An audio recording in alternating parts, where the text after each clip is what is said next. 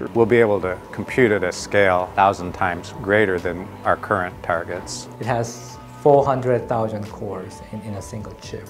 The Cerebras AI chip is a state-of-the-art semiconductor technology which has been designed to improve the performance of AI algorithms. The AI chip is designed to process large amounts of data at very high speeds, which is essential for the functioning of AI algorithms. The AI chip is a semiconductor technology that is expected to change the world of artificial intelligence. So in this video, we will discuss the Cerebras chip. Watch the video until the end as we will discuss really really interesting facts about it. The rise of AI and shortage of processing power led to the birth of a monstrous CPU with 850,000 cores and 40 gigabytes on-chip memory. It is not clear whether or not Moore's Law will hold up, but it is obvious that AI is growing much faster than Moore's Law. A recent report by OpenAI showed that between 2012 and 2018, AI computing is growing 25,000 times faster than Moore's Law at its peak. The complexity of AI AI training has been an issue for many years. It was possible to train large neural networks using the conventional approach of increasing the number of cores on a single chip. The increasing computational requirements of AI were instead met by increasing the number of cores on a single computer. This approach works well until the number of cores on a chip exceeded the number of cores in a specific group of neural network chips. At the 2015 Conference of Neural Information Processing Systems, or NIPS, researchers proposed a number of solutions to the problem of training. The first was to train multiple smaller neural networks called deep supervision. The second was to train more extensive neural networks on numerous and independent chips. The final proposal was to use AI servers to train the same large neural network. Training models that take longer to train run the risk of overfitting the data, making it difficult to generalize. One way to reduce the time it takes for inputs to travel through the calculation and communication components is to reduce the size of complexity of the neural network. This approach, however, has its limits. Reducing the size of a neural network generally reduces the accuracy and of predictions it makes. Off-chip communication is thousands of times slower than on-chip communication. However, which means that reducing the time it takes for data to travel through the system is only effective. Traditional approaches to reducing communication time have been to send data through faster channels or to increase the bandwidth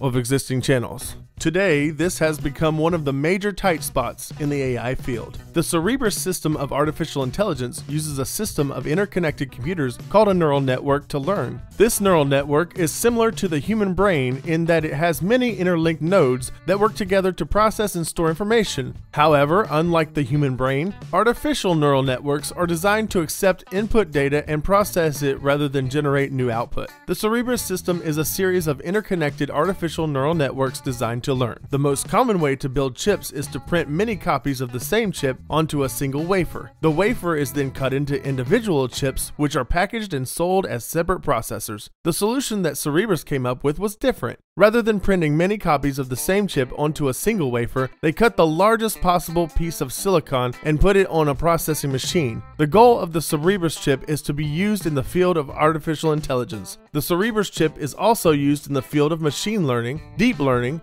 and generative intelligence. The Cerebras Wafer Scale Engine, WSE, holds the world record for the largest neural network chip dedicated to AI ever built in human history. In 2019, Cerebras System unveiled its first generation chip. The Cerebras WSE is 46,225 square millimeters and contains over 1.2 trillion transistors. The chip has 400,000 AI optimized cores called sparse linear algebra cores or SLAC. The cores are designed to perform large scale linear algebra operations in a very efficient way using sparse matrices. The cores are connected together by 100 petabits per second connections. The data is fed to the cores using a 18 gigabyte on chip memory with 9 petabytes per second. Last year, in April 2021, Cerebras launched their second generation chip, Wafer Scale Engine 2, or WSE2, which contains 2.6 trillion transistors. Using an AI system that is a million times more powerful than any other computer system before it. This model has 850,000 cores, while the first generation model consisted of less than half of it. These cores are connected by 200 petabits per second connections. The fantastic thing about this model is that the data is fed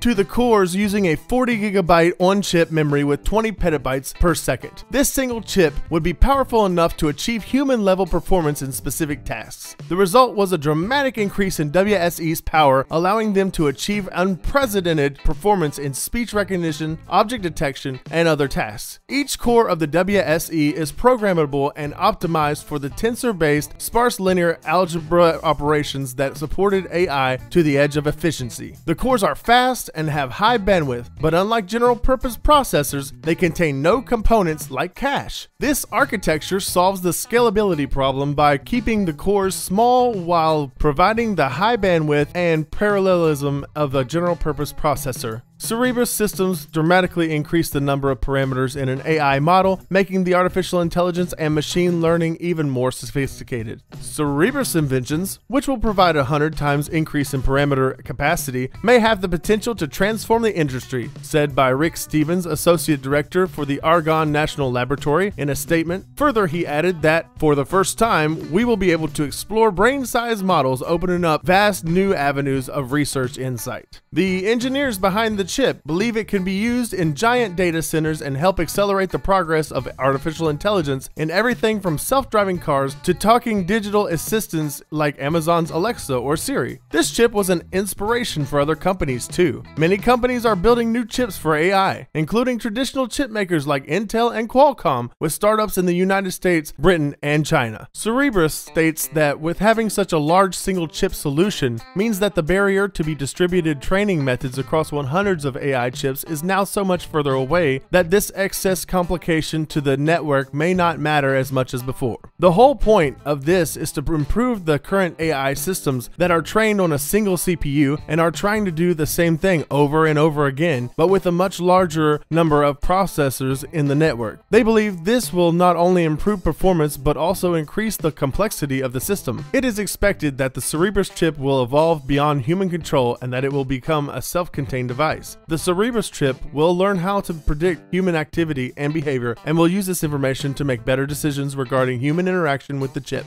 The Cerebras weight streaming technology will allow the user to disaggregate computer parameter storage, meaning researchers can scale size and speed independently. The company said this would also remove latency and bandwidth issues that are associated with large clusters of small processors. Karl Freund, founder of the Principal Analyst and Cambrian AI, said, One of the largest clusters to solve AI programs is the complexity and time required to set up, configure, and then optimize them for a specific neural network. The execution execution model is based on a handful of essential rules that allow to create of a cluster where the execution of a complex high frequency event can be run on a bunch of computers. The weight streaming execution model is so elegant in its simplicity. Cerebras is moving all the complexity we have to face today around the building and efficiently using enormous clusters. Given the details and performance of the chip, it isn't easy to evaluate how impactful the wafer scale approach might become. So, this brings our video to an end. What do you guys think about Cerebras chip?